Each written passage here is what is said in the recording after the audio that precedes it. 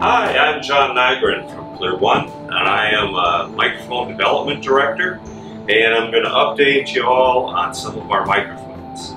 So, these are tri-element ceiling microphone arrays.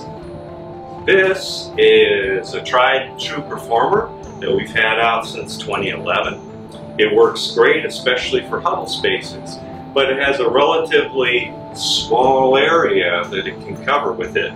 And the length of its cable is only adjustable in one foot or two foot.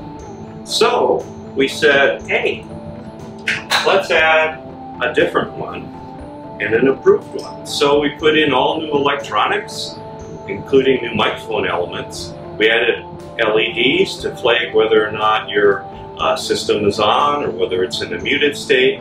And we move those microphone elements into this windscreen that bumps out here and now it picks up from a much broader area. And then to make it easy to install, we have a 7 foot cable with a cinch ring here so we can adjust it from 0 to 7 feet. So a lot easier than the previous one. So now we have a brand new capsule and we designed two systems to use that capsule. One of them is an analog system, we call it Analog X. The other one is a digital system that's called CMA Dante. And they both have excellent audio and they both are very appropriate to having large to small rooms.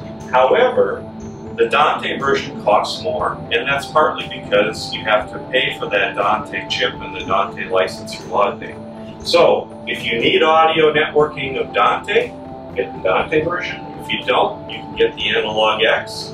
And they're actually, compared to the amount of coverage that they have, they're actually more reasonable than our original microphone system.